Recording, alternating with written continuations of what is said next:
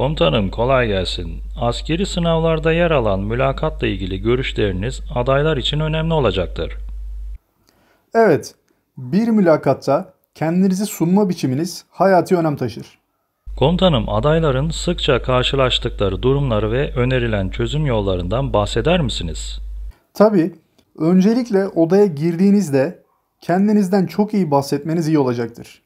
Mesela, cevabını bilmediğiniz bir soru yöneltildiğinde, bu konu hakkında bilgim yok ama öğrenmeye hazırım gibi, bu konuda deneyimim yok ama çabuk öğrenebileceğimi düşünüyorum gibi, daha önce hiç karşılaşmadım, biraz açar mısınız? gibi, sizi doğru mu anladım, bahsettiğiniz şey şuna benzer bir şey mi? gibi, kusura bakmayın, bilmiyorum gibi cümleleri kullanmaları önem taşıyacaktır.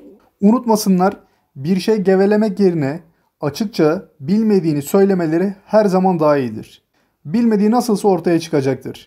Görüşmeden ayrılırken de görüşmeniz iyi geçmediğini düşünseniz dahi başınız dik, ses tonunuz net olsun. Komutanım bu mesleği neden seçtiniz sorusuna nasıl cevap vermeleri uygun olur? Bu sorunun cevabını ilk önce kişinin kendisinde araması lazım.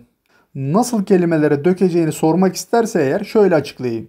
Bu işi neden istediğini ve kişi güçlü yönlerini eklemesi önemli bir katkı sağlayacağını düşünüyorum. Benzeri bir işte kazandığı başarılardan söz edebilir.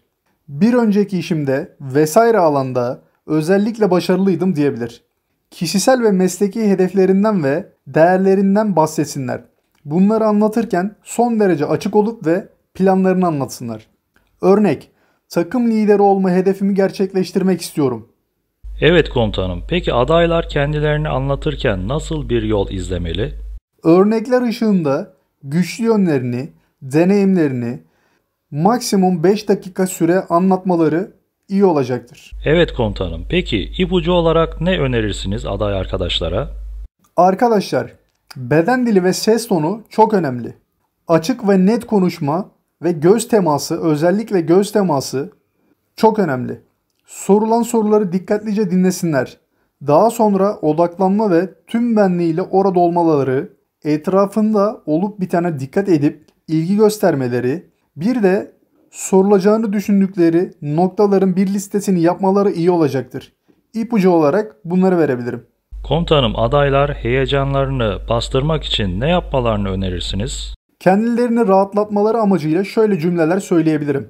Mesela çok iyi bir hazırlık yaptım. Bu işe uygun bilgi ve becerim var. Odaklanmış ve sakin kalabilirim. Bilmediklerimi öğrenebilirim. Üstümde işe uygun şık bir kıyafet var. İyi göz teması kurabiliyorum ve dik oturabiliyorum. Soruları ilgiyle dinliyorum ve şevkle yanıtlıyorum. Kendime güveniyor ve elimden gelenin en iyisini yapabileceğime inanıyorum demeleri iyi olacaktır. Komutanım bizleri çok iyi bilgilendiriyorsunuz. Rica ederim ne demek? Ülkemizin çalışkan, zeki, çevik askerlere ihtiyacı var. Komutanım peki adayların kendilerine güvenmeleri önemli değil mi? Tabii vücut dili ve ses tonu kendine güvenin göstergesi olduğunu unutmasınlar.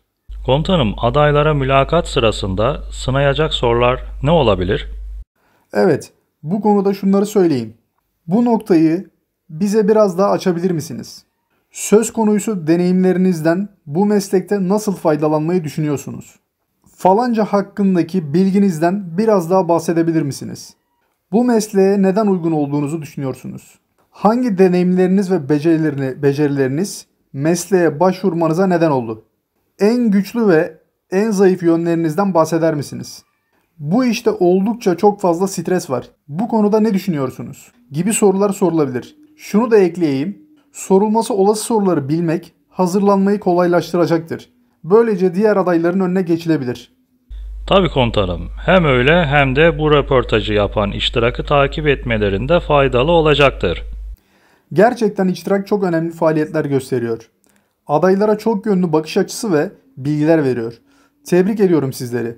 Böyle devam edin. Adayların size ihtiyacı var. Özellikle Onur Engin böyle bir çalışma yürüttüğü için onu da kutluyorum. Sağ olun komutanım. Kolay gelsin. Sizlere kolay gelsin. Adaylara da başarılar diliyorum. Evet iştirak takipçileri ve aboneleri, sizin için çok yararlı olacak bir röportajı daha sonlandırdık. Kalın sağlıcakla, bizi takip etmeyi ihmal etmeyin. Başarılar.